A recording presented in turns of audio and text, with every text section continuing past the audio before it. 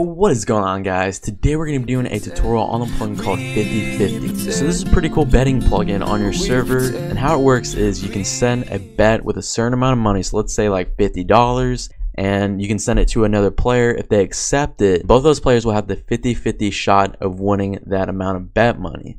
So only one of them will end up winning the amount of bet money. So it's a pretty risky chance that the players have to take but in the end, if it's worth it, then they're going to take the chance and try to get more money. So go ahead and download this plugin, and drop in your plugins folder, and then restart your server. And let's go ahead and get started. So we got Bobby in the house.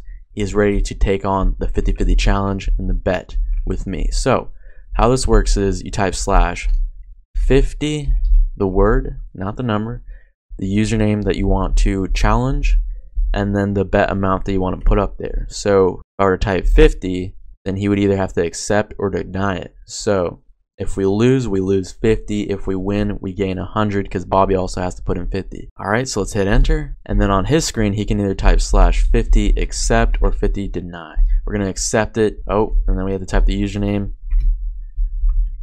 And then there we go. So now we're entered in a GUI and it's kind of like a heads or tails kind of thing. So we're going to go with heads and then we ended up losing $50 well, Bobby lost, but we kind of won because this is my main account. But anyways, that is how this plugin works. So it's a risk to take. Let's go ahead and try it again. Let's do 100 this time. So let's see if Bobby accepts it. Obviously, he's going to accept it. So slash 50 accept. There we go.